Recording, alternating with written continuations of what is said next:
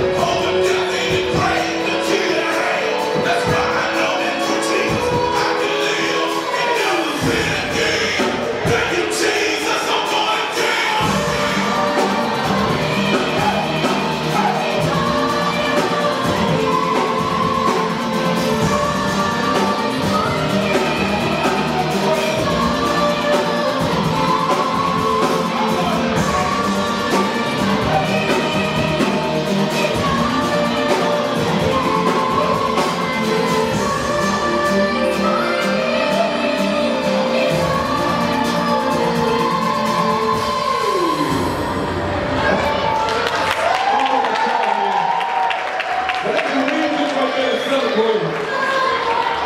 you can't think of any other reason, even your day is going bad, after this song to pause, after this song. If you can't think of any other reason, sometimes we're like, man, Lord, why am I faced these situations? Why am I going through this? Why am I going through that? Yeah, you got